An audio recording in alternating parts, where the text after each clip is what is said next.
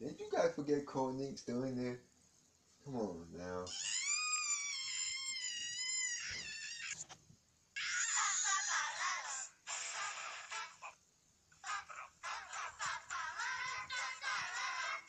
Who is this?